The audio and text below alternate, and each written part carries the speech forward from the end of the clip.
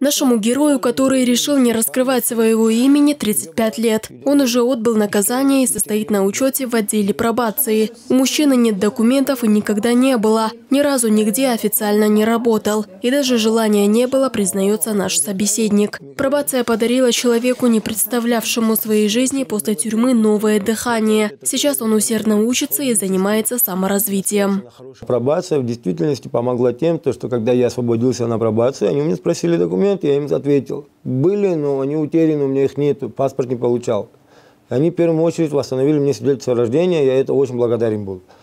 Потом через неделю позвонили, позвали, я пришел, и они мне сказали, иди, сходи в сторону паспортного стола, и будешь делать паспорт. Пошел туда, и они мне сделали паспорт, помогли сделать.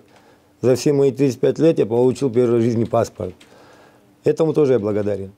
И еще тем помогли, то, что устроили на учебу, где можно обучаться на сварщика, на электрика и дальше уже по этой же специальности устроиться на работу и будут дальше работать и справляться. Закон о пробации вступил в силу с 1 января 2019 года. Понятие пробации в переводе с английского означает «второй шанс». Принцип ее работы заключается в оказании помощи людям вернуться в общество и интегрироваться. Кроме того, оказывается психологическая и медицинская помощь. Два раза в месяц они проходят медосмотр. На сегодняшний день на учете э, в отделе пробации по Свердловскому району состоят 290 человек. Из них условно осуждены 11, отсрочка исполнения наказания 16, э, лишение права заниматься определенной деятельностью или определенной должностью 3 человека, пробационный надзор 139 человек. Отдел помогает гражданам, отбывшим наказание, восстановить документы, обеспечивает их продуктами, а также отправляет на обучение на различные курсы. Так, благодаря пробации осужденные имеют возможность не только изучить иностранные языки, но и получить конкретные навыки вождения или шитья. Выбрать направление он может сам, все по желанию. Если есть потребность в психологической или медицинской помощи, то ее незамедлительно оказывают квалифицированные специалисты. Также осуществляем выездные мероприятия по четырем видам пробации э, клиентов, которые уже состоят у нас на учете. Это досудебная пробация, исполнительная, пенитенциарная и постпенитенциарная пробация.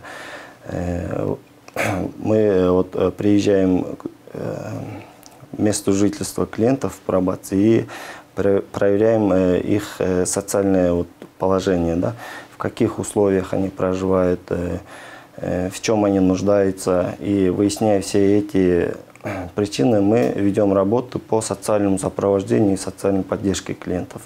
Кроме того, здесь ежегодно проходят спортивные мероприятия. Самым лучшим вручают различные награды и призы. Сотрудники отдела всеми силами пытаются людей заново приспособить к жизни в обществе, а также предупредить совершение ими повторных правонарушений.